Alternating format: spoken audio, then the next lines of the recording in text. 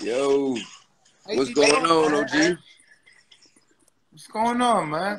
Man, coolin'. What time is it over there? Man, what is it? Uh, eight thirty.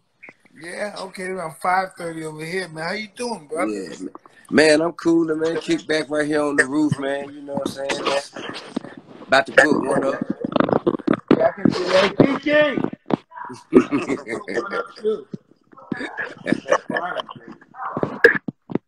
yeah, what you been What you been up to today, man? nothing. Just working out. That's all I do is work out, eat food, work out, eat some food, look at some television, Anything interesting? go watch the kids for a moment, go back in the room. Everybody's doing their thing. My wife and her mother cleans the house and it's spotless here. They're always cleaning the house. There's nothing to do. But we're having fun hanging out. Right on. Well, give my definitely give my best to your wife and uh, kids, man. Definitely. What's going on in Atlanta, man? I'm gonna come out there and tell you that it's over, man. Yeah, man. We thank you, man. Just you know, just controlling culture, man. You know what I'm saying? You know, trying to trying to keep everybody balanced the same throughout these times. We gonna get this. I've been looking, I've been watching one of your shows on the preview coming up, and so so Monica's going through some hard times now in the family. I like how you got that set. That's. You got the right. You guys got everybody. Latoya, everybody fits that whole or, orientation. That whole crowd fits one another. Right. Well, you know what I'm saying, man. We have been we we've been fortunate enough to to connect with the people, man. You know, we of watched our kids and our family evolve. You know what I'm saying? We try to keep it G with them. Yeah, you guys. You, you, from from from looking from afar, you guys are doing that real good. You look really good. Appreciate it. So you just had a hot boxing podcast where uh the, the, that was the day I came out, right? Yes, Man, we had a phenomenal discussion. I agree. Yeah. So y'all should go tune in to podcast one. Yeah, I mean, check out the Hot Boxing Podcast. Me and Mike Tyson kicking shit yet again. I can see us doing a lot of stuff together, bro. I can see that. I can see the market for us doing some stuff. Yeah, man, Tip and Tyson.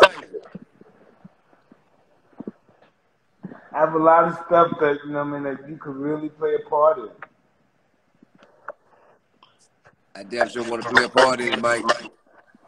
Cut me in or cut it out, Jack. Yeah, because we, we need to stick together, all the young entrepreneurs. This is this is a big statement for this stage and, and part of our life. We have Right. a lot. To, we have a lot um, to look forward to until we until we leave this place. That's right. We're definitely much stronger collectively than we are individually, no matter how strong we are. I've learned over my experience in life. I learned that yeah, working together works best. Yeah. That makes sense. So you say you've been working out. Like, what's the workout for you right now? You still, you still get it in? You getting in the ring? I've been hitting the mitts for the last week, so I, that's been tough. My body is um my body's really jacked up. It's really sore from hitting the mitt. But um, I've been I've been working out. I've been trying to get in the ring. I think I'm gonna box some exhibitions to get in shape. I want to go to the gym and get in shape to be able to box three or four ex- round exhibitions for some charities and stuff. That's I like to do some dope. charity exhibitions, take the money and help some homeless and some drug affected motherfuckers. You know, Yeah. just like me. Shit, man. Let's do that. I, let's get it. Let's get in there and hit the mitts one day. You can work that out, man. That'd be beautiful.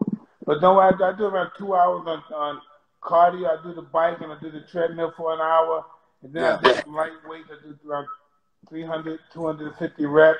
And then um, I start my day with the boxing. And then I go in there and I hit the mitt for like 30 minutes, 25 minutes. Try to get in better condition. Right. Got your timing back together.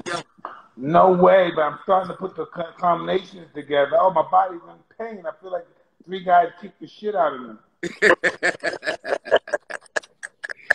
Man, shit, man. I saw you. I, I, we talked about it a little bit on your podcast, but I saw you at your, uh, your, uh, on your IG. Somebody put you up. You were doing some shadow boxing, man. Shit. Man, you look like you can goddamn still get in there, bro. Yeah, but listen, I don't know about the. It's different. Boxing is different. You look good, but you really look good when people are throwing punches. Then they really know how good you're really looking. You know, you never know how good you are until you have people pitching punches at you. You know. If I can quote one of your most famous phrases, everybody got a plan till they get hit in the mouth. Exactly. That's what it was back then. Everybody said this is how you beat life. You gotta do this, you gotta do that, and it always looks good from your. You know, it, it looks easy to beat me from your your, your living room couch. Anybody could do that, but it's about putting that work in.